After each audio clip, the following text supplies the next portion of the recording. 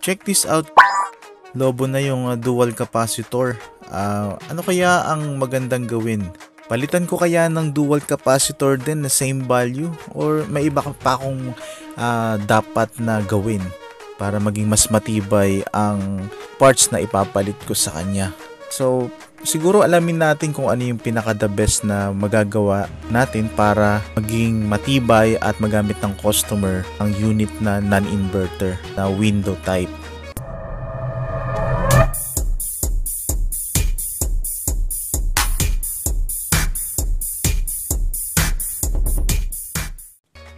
So as usual, ang uh, carrier na window type na ito ay hindi inverter dahil meron siyang uh, capacitor. Uh, yan yung running capacitor niya mga kaibigan. And tulad na nakikita ninyo, ayan ay lobo na siya. No? Iba na yung kanyang uh, regular na appearance. Ano? So yan ay dual capacitor. Ngayon sa mga uh, ginagawa ng mga technician, ay nagpapalit lang sila ng same replacement. Ano? Dual capacitor pa rin. Ngayon, ano ba yung disadvantage kapag nagpalit tayo nun? So malaman natin ano. First, gagawin muna natin ay i-check natin yung kanyang capacitance ano. So ito mga kaibigan, yung multimeter ano, uh, gagamitin natin to, isa-set natin para ma-read natin yung actual uh, na status ng running capacitor. From ohms, ililipat lang natin sa milliampere yung kanyang prad, uh, test prad ano uh, common and milliampere then itong setting niya is uh, nasa 200 or 2 so syempre ang itetest natin ay pagka mataas sa uh, uh, 2 microfarad gagamit tayo ng mas mataas din na settings. Yan tulad yan 15 plus 2 so itetest, itetest natin yung kanyang 15 microfarad and 2 microfarad 2 microfarad na uh, terminal ano. So ito papakita ko sa inyo kung ano yung uh, paraan sa pagtetest ng uh, capacitor gamit ang digital multimeter. So ayan, uh, nakita nyo naman nilagay natin sa 2 200 yung kanyang setting para ma-reading natin o ma-read natin yung capacitance. So, check na natin yung kanyang herm and yung running ano, running and herm. Okay, tignan natin. So wala siyang deflection ano, zero siya. Ibig sabihin open yung kanyang capacitance and yun namang pan capacitor ay open din ano. Yung running at saka yung kanyang fan na starting ay open and yung herm na starting open din siya. So wala na talaga to, dead na siya. Kaya yung compressor ay nagka-hum and yung fan din ay hindi nagra-run. So replacement na yung kanyang capacitor. So itong uh, ginamit natin ay digital multimeter no. Accurate ang pag-read reading pagka yan ang ginamit natin. So ano ba yung next step natin na gagawin mga kaibigan? Ito yung pinaka the best na paraan sa pagre-replace ng uh, running parts tulad ng papakita ko sa inyo, uh, nagawa ko na siya. No? Uh, bali yan ay ginamitan natin ng uh, separated na capacitor. Siyempre, pagsa-separate natin yung 15 microfarad and uh, 2 microfarad gamit ang flat and round capacitors. So, ang reading yan from multimeter ay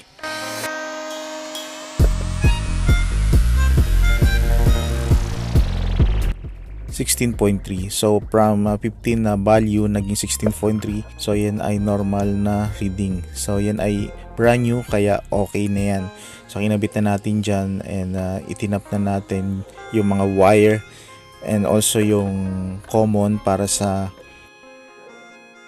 fan capacitor ano. So test naman natin ano yung value ng uh, fan capacitor ano. Okay, ito. So uh, iset natin, lagay natin do sa running.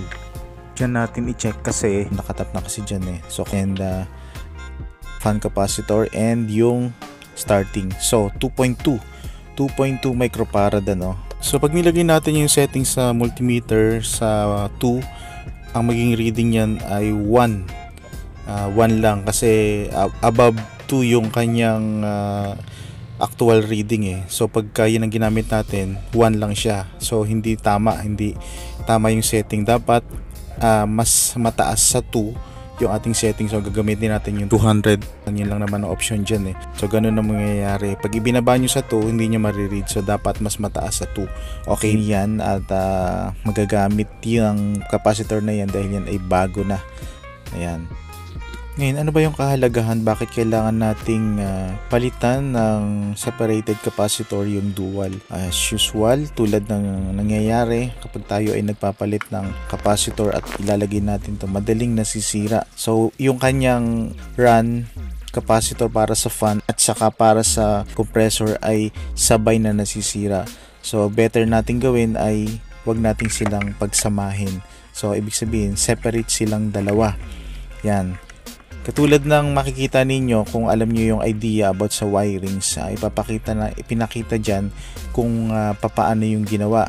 Sineperate natin yung kanyang uh, yun nga yung capacitor, tapos nilagay natin yung pinaka-running dun sa kabilang side ng capacitor and yung kanyang uh, starting ay andun sa kabilang side naman ano. Ganun din naman sa uh, fan capacitor. Ang pagsasamahin lang natin diyan ay yung running ng capacitor ng uh, compressor and ng uh, fan motor. Yun ang magkasama. Pero yung kanyang capacitor magkahiwalay ano? Yung appearance niya o yung kanya actual na capacitor magkahiwalay. Ganun yung pamamaraan para maging mas matibay ang parts kapag ginagamit. Hindi agad siya masisira. At pag may nasira man isa lang yung masisira. It's either sa fan or sa compressor.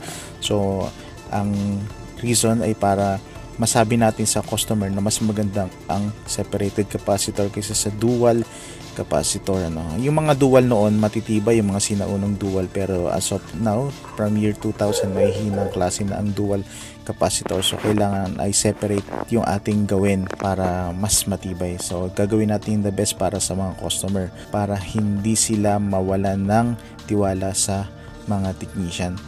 So, hindi natin basta gagawin iyan para lang sa sarili natin para kumita, kundi para din naman sa mga customer para hindi sila mawala. Yan. So, ayan ay uh, isang pamamaraan lang para uh, sa mga non-inverter na window type ano ngayon kasi mga inverter ay wala namang capacitor yan ano ngayon ay ibang uh, scope naman yon yung gagawin sa inverter pagka ayaw tumakbo. It's either sa electronics, papalitan ng electronics or repair yung electronics. So yan uh, binalik na natin mga kaibigan. Ano? Close na natin yung kanyang housing ng controls or ng capacitors. Ano? So ikakabit na natin yan. Take note lang mga kaibigan kapag kinabit natin iyan dapat ay firm. Lock talaga. I-check natin mabuti kasi minsan kapag ay binalik natin yan uh, nagkakaroon ng loose hindi tumatakbo yung fan at uh, yung compressor. So kailangan ay uh, nag-click siya no? Nag-lock talaga siya. Kung may problema pa rin so papalitan natin ng uh, socket or mag uh, ida-direct na lang natin ano kapag wala tayong socket. So ilagay na natin shoot na natin diyan sa loob ng uh, kanyang slot ng unit yan. So pagka inano natin, nilagay natin yung sa uh, loob, tignan natin yung ilalim na wirings. Baka kasi uh, sumabit kaya hindi natin maibalik.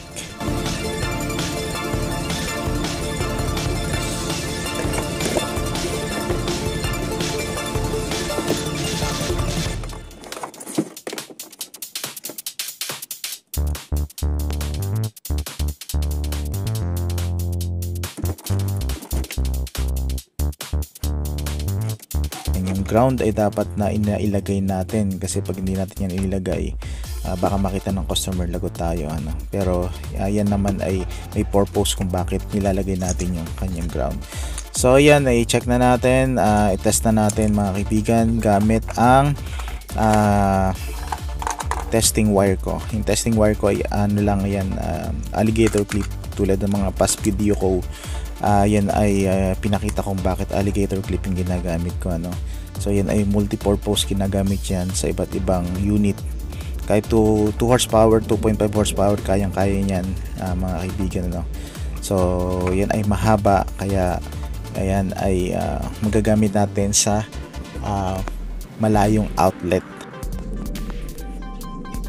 So ayan, ay test na natin and then yan nagrara na siya mga kaibigan low and high and then yung air swing gumagana na din Okay, uh, so pagka tinas natin yan, check agad natin yung kanyang uh, uh, pag-ice kung saan siya mag-start.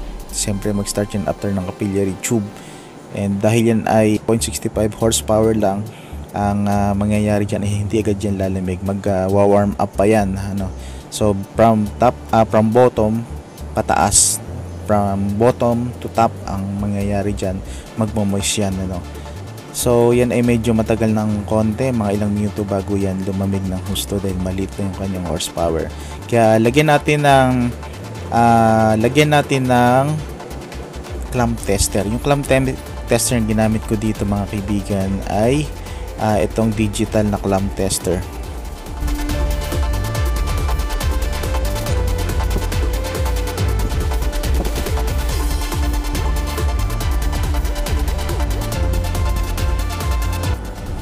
So itong uh, digital na clamp tester natin mga kaibigan ay uh, ni-repair na natin ano kaya puro tape na yan. Uh, sayang din naman. Nilagyan ko ng 12 volts battery. And uh, sorry, it's 9 volts battery pala and uh, napagana ko siya. Ayan. So bakit may tape? Para kasi lumapat siya sa loob kasi medyo crack na yung kanyang plastic. So ayun mga kaibigan, titignan natin yung kanyang reading ano. So 2.18 ano, 2.13 ano, pabago-bago siya no?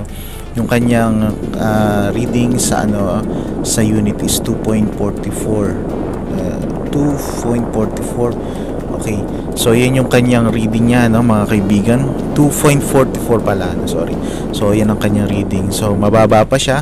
Nasa 2.23 uh, dahil hindi pa niya nga uh, re-reach yung kanyang maximum na uh, run ano uh, hindi pa niya tum- hindi pa tumataas yung kanyang moisture ano. So pag tumaas na yan, ma-reach niya na rin yung kanyang uh, ampere na 2.44 and above. So observe lang natin mga kaibigan para makita natin na uh, reach niya na yung kanyang moisture from top to bottom. So yan ay uh, okay na magagamit na ng customer dahil sa ginawa natin at mas patibay dahil separated capacitor yung uh, ginawa natin okay, uh, sabi kasi ng iba, uh, palit lang, okay na. Pero syempre, uh, the best para sa customer. Ang dapat natin gawin ay mas matibay yung pagkakagawa natin at mas, pag, mas mapagkakatiwalaan. Okay, yan, malim, medyo malamig na yan mga kaibigan ano, kasi medyo tumaas na rin yung kanyang moisture. Uh, ipaliwanag na rin sa mga customer na dapat ingatan nila yung kanilang window type. Dapat hindi nagpa-fluctuate ang electricity, uh, walang power, pay, power failure para yung kinabit natin ay wag, hindi naman agad masira. At hindi tayo maback job kasi pagka na back job tayo mahirap malaking abala sa ating mga trabaho sa ating mga gawain. Gagastos tayo ng time, pamasahe transportation. So dapat natin gawin so ito ang ginamit natin mga kaibigan no? ginawa natin, ginamitan natin ng soldering iron yung mga wire. Kasi pag hindi natin iso-solder possible na magkaroon ng loose connection yan. So magti-trip. Hindi na naman tatakbo yung compressor at pwedeng masira yung capacitor ulit kaya dapat isolder na natin.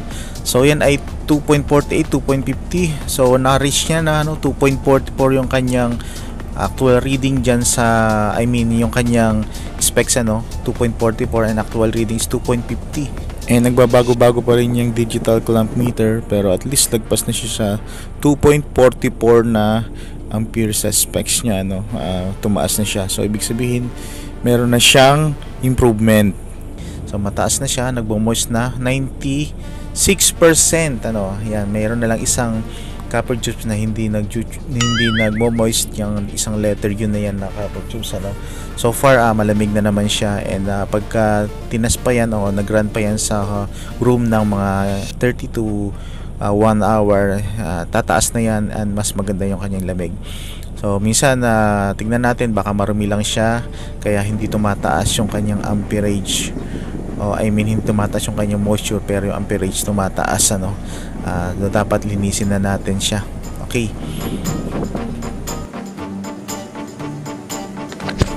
So ayun mga kaibigan ano at na, na nagrara na siya at sana ay yung uh, unit na yan ay tumagal ano.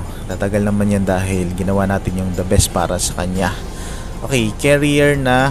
0.65 horsepower and uh, matipid yan, ano, matipid yan pero kung inverter mas matipid pa dyan. Doon sa mga previous video ko uh, uh, 2.44 yung inverter is nag uh, 0.95 ampere. Ayan, wala pa sa 1 so mas matipid talaga inverter. Pero mas matibay yung non-inverter. Panglaban yan, pangharapas yan. So mga kaibigan maraming salamat sa inyong uh, panonood muli ng aking bagong video And ito na naman, sana ay may natutuhan kayo sa aking pamamaraan ng pag-repair o pagre-repair ng window type aircon. At sana hanggang sa muli ay muli tayo magkita-kita mga kaibigan. Huwag niyo pong kalimutan mga kaibigan na i-subscribe, i-like at i-share. And don't skip ad ang video na to. And thanks muli sa inyo guys sa inyong patuloy na pagtangkilik at suporta sa channel ko ano at um, lagi tayong magkakaroon ng mga bagong kaalaman, bagong strategy uh, sa ating uh, pag uh, repair o technique ng pagre-repair sa mga aircon unit. So pwede nyo rin i-share ang inyong nalalaman. Please comment down below. Thank you!